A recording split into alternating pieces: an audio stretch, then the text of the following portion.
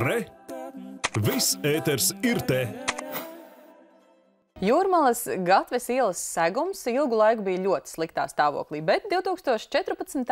gada beigās Jūrmalas Gatvē tika īstenot vērienīga rekonstrukcija, pilnībā nomainīts ielas segums, izbūvētas ietves un arī daudz vietu uz, uzbūvētas šīs pieturas, un visi bija ļoti priecīgi iedzīvotāji sajūsmā. Bet nu pat aprīļa sākumā Rīgas domas apstādījuma komisija ir nolēmusi, ka Jūrmalas Gatvē, kas starp citu Rīgā ir pazīstama ar savām ļoti skaistajām koku alejām, ir paziņojis, ka atļaus izcirst ļoti daudz koku, un pamatojums ir pavisam vienkāršs – ielu atkal sagaida rekonstrukciju. Jūrmālas gatvē ir plānots nocirst teju simts kokus, lai veiktu sabiedriskā transporta pieturvietu pārbūvi, bet daudzos gadījumos šķiet šie koki nemaz netraucē, lai šādas pieturvietas ierīkotu. 2014. gada beigās Jūrmālas gatvē posmā no Kurzemes prospekta līdz Zolotūdas ielas pieturai tika izveidotas jau pieturvietas, ietve jauna noasfaltēta braucamā daļa, un tā kā tika sakārtots. Tā ir līdzekļu izšķērdēšana, jo ja pirms diviem gadiem pilnībā tiek rekonstruēts, tagad sākt visu no sākuma, lai izveidot jaunas pieturvietas, nav ekonomiski. Pirms nieka pusotra gada ir atjaunot ceļš un ietve, bet tagad plāns visu pārbūvēt. Vai tiešām nesaimnieciskumam robežu nav un visus remontdarbus satiksmes departaments plāno veikt divreiz un maksāt divreiz?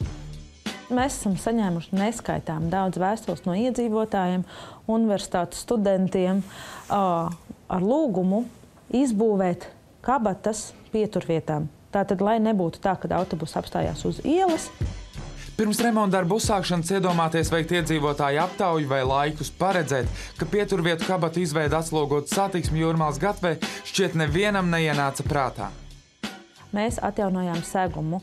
Seguma atjaunošana ne, um, paredz tikai un vienīgi virskārtas nomaiņu.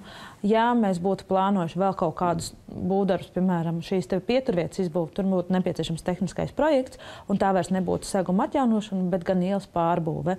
Lai pārbūvētu ielu vai izbūvētu kabatas, ir nepieciešama dokumentācija, sākot no būvprojekta.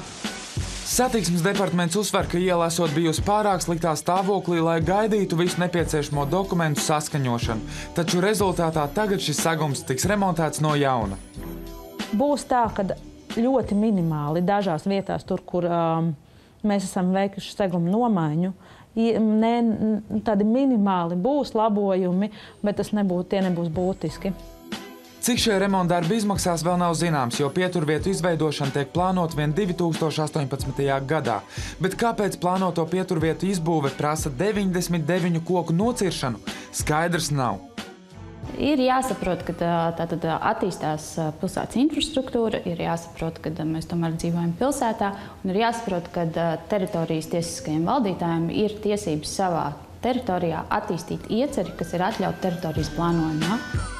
Jūrmālas gatvē ir plānots labiekārtot 20 pieturvietas, no kurām 12 tikšot izveidotas speciālas kabatas. Matemātika vienkārši. Viena pieturvieta, pieci nozāģēti koki. Un tas liek domāt, ka Rīgai koku saglabāšana nav svarīga. Vienmēr pirms eh, tātad ciršanas atļaus izsniegšanas tiek vērtēts tiešām, vai nav iespējams saglabāt šos nu, vienu vai otru koku, vai nav iespējams koriģēt ieceri. Līdz ar to šajā gadījumā arī tātad ir lūgts četras reizes. Mēs lūdzām korrigēt ieceri, un šobrīd ir panākts tas kompromisa variants, kad ir atļauts 99 koku ciršana. Ja nemaldos, 8 koki ir likts saglabāt. Mālači no 107 kokiem nu tiks nocirsti nieka 99.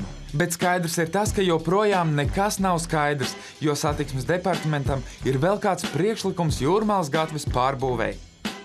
Protams, labākais risinājums būtu, ja mēs atstātu esošo jūrmālas gatvi kā vienvirziena ielu ar divām joslām un paralēli tur, kur ir plānots blakus um, šī pļāva, ko mēs redzam, kas ir tāds liels, ka mēs izbūvētu vēl divas joslas braukšanai pretējā virzienā, un tad jau būtu pieturvietām daudz vairāk vietu, tad būtu tāds loģisks šis te solis. Tā varētu būt realitāte? Iespējams, nākotnē, jā. Atliek cerēt, ka šī iecerē nenonāks līdz īstenošanai jau pēc tam, kad koki būs nocirsti un pieturvietas pārbūvētas. Savādāk vienas ielas posms īsā laikā tiks pārbūvēts trīs reizes.